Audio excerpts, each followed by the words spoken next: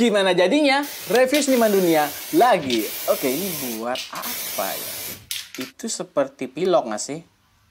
Oke, melukis menggunakan pilok ada perpaduan kuasnya juga. Oh, ini sedikit abstrak gitu sih. Sejenis kayak tekniknya itu kayak membuat kaligrafi gitu. Oke, ini aku kepo bentuknya kayak gimana ya? Oh, ini banyak dia pakai banyak teknik sih. Ada pakai spidol. Aduh, aduh, aduh, ini parah sih bakal bentuknya. Hmm, oke, mungkin udah jadi kayaknya. Dan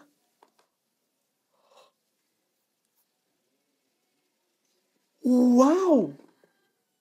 Coba lihat teman-teman. Bentuk gajah ternyata guys.